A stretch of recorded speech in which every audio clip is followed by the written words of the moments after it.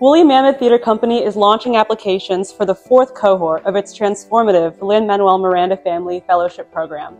We're thrilled to announce that this fellowship opportunity will now be two years long and will offer positions in Woolly's connectivity, new work, marketing, and production departments. Applications are now open and will close on Sunday, May 12, 2024. For more information on the fellowship and how to apply, please visit woollymammoth.net.